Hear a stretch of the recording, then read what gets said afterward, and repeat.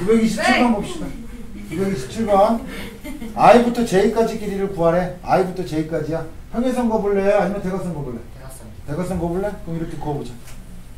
자, 이렇게 걷어. 됐어. 될지 안 될지 몰라. 근데 일단 해보라 이거야. 일단 해보라 이거야. 그럼 봐. 대각선을 딱 걷어. 그 여기 A, 여기 A, 여기 A, 여기 A라고 잡으면 됐어요? 네. 자 보세요. 반반씩 나눕시다. 일단 얘랑 얘랑 뭐 얘랑 얘랑이야. IJ I IJ지. IJ니까 IJ를 포함한 이삼각형하고 이삼각형하고 몇 대 몇이야? 3대 4지. 이해 가냐 안 가냐? 그러면 3대 4 나와야 되겠지. 그러면 I부터 여기까지 길이 나와 안 나와? 그러면 3대 4는 X 대 14, 쓰, 14 쓰는 줄 알았죠? 박스 대 길이라고 했어. 박스 대 얼마? 14 나오겠지. 그럼 박스는 얼마? 4분의 40? 2가 나오겠죠? 그러면 2분의 21이네.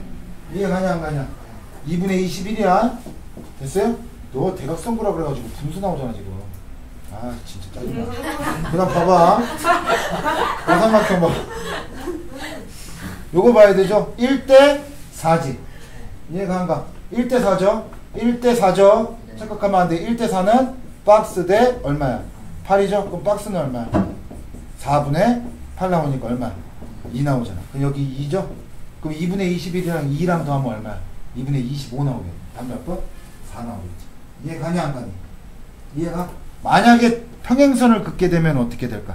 평행선을 긋게 되면 요렇게 평행선을 긋는 거야. 그 여기 8, 8, 8, 8, 8, 8이잖아. 여기서부터 여기까지 얼마야? 8이잖아. 그럼 이거 한 번만 하면 되는 거죠. 이해가 안 가? 이해가? 그래서 내가 추천해주고 싶은 첫 번째 보조선은요. 닮음을 할 때 첫 번째 보조선은요. 평행선이에요. 그래서 평행선부터 한번 보라고 했었던 거야. 무슨 말인지 이해가? 그 닮음, 그 대각선을 겉버리면 두 개의 닮음에서 둘 다 찾아야 되잖아. 평행선 그으면 어떻게? 하나는 그냥 나오잖아. 무슨 말하는지 이해가? 8이니까 여기 8, 여기 6 나오겠죠. 그럼 여기 3대 4에서 여기 길이만 구하면 끝나겠지. 이해 가냐 안 가냐? 이해가?